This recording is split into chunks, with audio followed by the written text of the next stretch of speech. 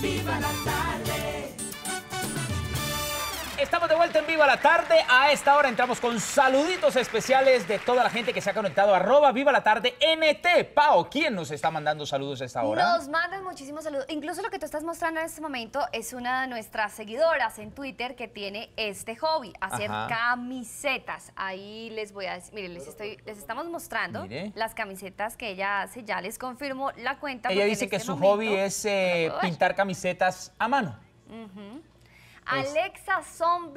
06, arroba Alexa Zombie 06 es quien hace esta- estas camisetas y comparte con nosotros. Dice, buenas tardes, gente, mi hobby es pintar camisetas a mano. Ahí Besos". Ahí está. Bueno, Berguedis nos escribe en sintonía. Me encanta su programa. Eh, ¿Dónde está? Siempre alegre, Carlos Calero. Éxito para todo. Paola López TV. Saludos. Enrique 286P, saludos a todos ustedes en Colombia, saludos a mis tías en especial, a la tía Miriam, besos, chupos y abrazos. Ay, este está lindo también. Valencia Silva 1 dice, arroba viva la tarde NT, vivo en Los Ángeles, California y ustedes con su programa hacen que se sienta la tierrita cerca. Son mi momento colombiano del día. Ay, qué lindo. Qué belleza, qué belleza. Gracias, gracias, gracias miles por todo esos eh, saludos. Bueno, hoy estamos hablando de hobbies y hemos querido invitar a un gran actor de nuestra pantalla. Ustedes eh, lo pueden ver en El Capo también. Y, y no solamente lo hemos invitado porque es un buen actor, sino porque tiene un hobby y es la escultura. Es escultor además, profesor de arte. Mejor dicho, ha estado metido en, en- en todo este tema del arte. Está con nosotros Luis Fernando Borges. Don Luchito, bienvenido, señor. ¿Cómo va? Gracias, Qué gusto recibirte acá. No. Óigame, Luis, señor, escultor. Sí, sí, sí, sí, pues a través de los años, ¿no? O sea, empecé, obviamente, Con plastilina. intentándolo, sí. Ajá. Realmente empecé con alambre porque caminaba mucho y me encontraba, me encontraba alambritos en, en la calle. Y con esos alambres empecé a tejer, a dibujar, a moverlos. Y después dije, no, si se hacen pequeños, se puede hacer en, en- en grande. Y me fui, me fui eh, yendo mucho más. Esta es Mira una, eso. una vaca, por ejemplo, grandota en volumen, porque ya hago las esculturas en volumen. Sí. Ajá. Y, y además, empecé por temas. Los animales son un gran tema. Eh, Sí, tuviste una exposición también de, de puros animales, todos como en hierro, ¿no? ¿Qué era eso? en la, sí, una exposición pública en el Parque Central de Bavaria y en la zona T. Sí, sí. Eran conejos gigantes, Era una cosa loca. animales eh. Mira rosados. Pero Lufer, espera que vamos, estamos yendo bien rápido porque tú dijiste, bueno, empecé con alambritos, me empezó el cuento, pues a gustar, a emocionar un poco, pero ¿en qué momento cogió forma, digamos, profesional? Porque pues para hacer este tipo de trabajos como, es que- como el que estamos viendo, que supongo yo que viene siendo un... Este fue, este fue una exposición en la Alianza, en la Alianza Francesa. Ajá. Eh, este es una trabajo con mi esposa, trabajé con mi esposa esta exposición, fue Sí. en origami, y esas fueron las, esas son las líneas que tiene un origami de dinosaurio. ¿Ves? Ah, wow. Lindo, lindo. Entonces, eso está grande. El, el dinosaurio está al lado, el, di- el dinosaurio de, de papel, que está en negro. Ajá. Y trabajé un poco ese, ese tipo de lenguaje porque me interesa mucho la estructura.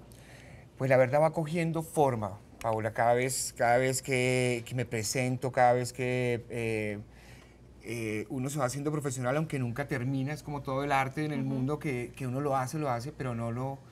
Todavía falta mucho por hacer. Finalmente no me puedo, no puedo decir que soy artista ya profesional ni nada, sino que estoy en ese, en No, ese no, camino. pero no seas tan está modesto, por favor, Fernando. No, No, y además con esto que nos trae, que en segundos pues nos va a contar Miren más unas sobre lámparas sílabas. A verlas, ya, ya las van a mostrar ahí, vea. Que nos van a mostrar porque es que, Ah, mira eso. Ahora sí, Oh my están. Este es en mi taller, Wow. este es en mi taller, Wow. estaba, eh, precisamente cuando llegué a mi taller estaba muy negro, muy oscuro, no lo quise quitar el, quitar el negro, pero entonces empecé a hacer unas luces para, para poderlo iluminar y, es, y hice con cintas de metal ese, ese tipo de lámparas.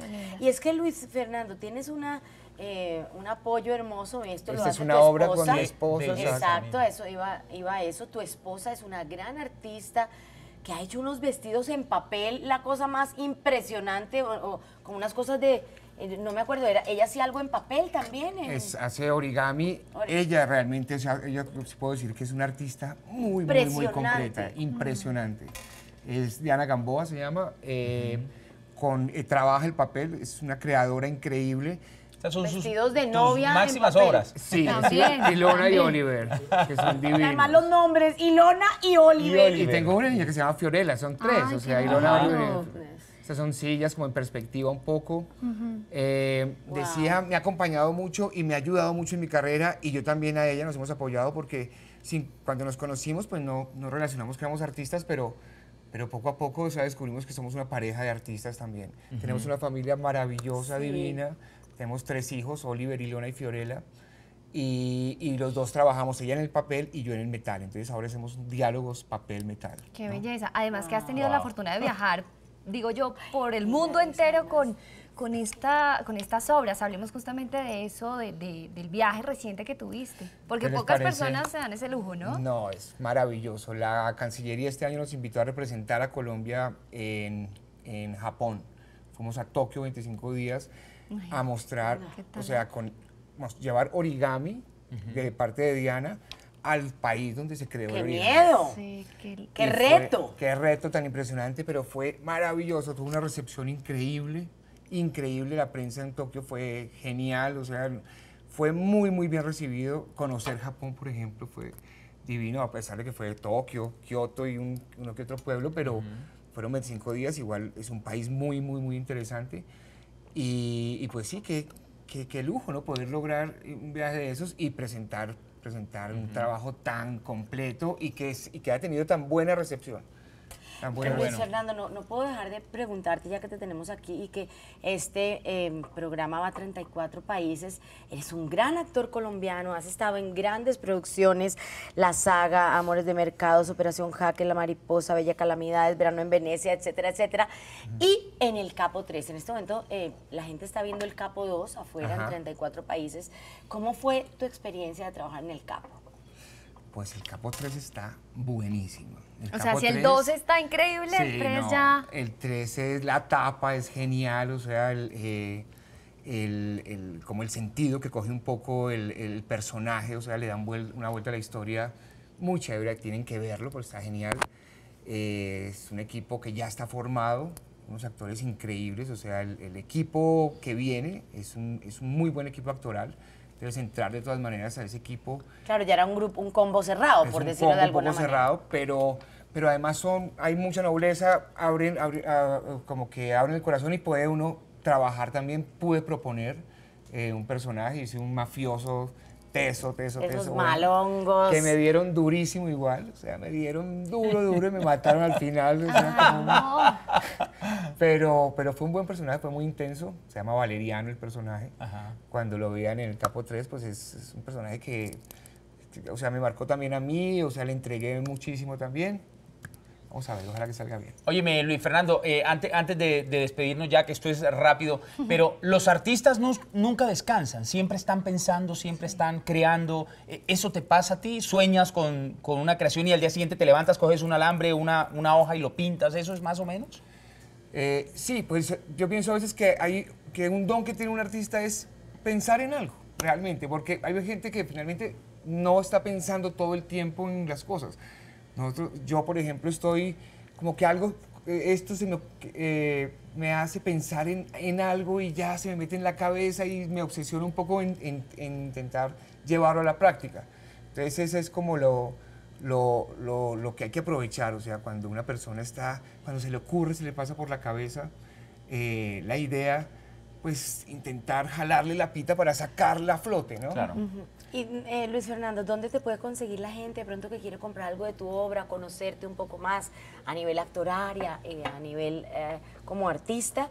Eh, ¿Dónde te puede conseguir? ¿Tienes Twitter o manejas algo de redes sociales o no mucho? Gracias, Janet. Mira, antes que todo, eh, quiero decirles y quiero invitarlos. Esta semana viene la Arbo. Feria de Arte de, de- de- de Bogotá. Eh, Arbo lleva 10 años. Hoy por hoy ya hay un- unas ferias paralelas en todo Bogotá. O sea, Bogotá va a estar muy invadido de arte. Espero que toda la gente camine Bogotá, lo conozca, conozca a todos los artistas. Yo voy a tener mi taller abierto. Yo trabajo en la Candelaria, en la calle 9, número 217. Hay un circuito muy interesante que se llama Barcú, Bogotá Arte y Cultura.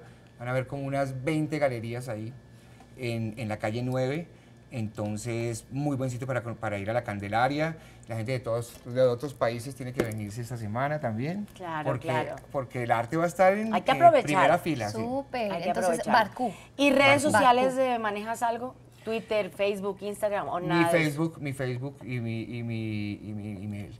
No, soy, no estoy muy pegado con, con eso. Me Pero tienes el- que abrirte un Instagram, es importante. Claro. Para mostrar tus Instagram sobre todo con esas Claro, fotos para mostrar todas tus fotos. y- Porque vale la pena, tienes un material hermoso, digno de sacar y de llevar a cualquier parte del mundo. Luis Fernando, muchísimas gracias. A ustedes, De verdad por haber gracias. estado con nosotros. Qué rico, eres un tipo como tan de paz, uno siempre Sí, que sí. habla contigo. Da mucha queda- tranquilidad. Es como peace and love, ¿cómo lo logras? Sí, sí, sí, sí. Sí, pero nunca te pones así como histérico de mal genio. Eh, Tal vez, pero, pero es que tengo, pero es que mis hijos, mi trabajo, todo me, me, me pone feliz también. Te da Me tranquilidad. da Qué tranquilidad. Aplausos para Luis Fernando Borges, gran actor y gran artista. Nos vamos eh, a unos mensajes y ya regresamos a esto que se llama ¡Viva! La tarde. Tarde. Eso.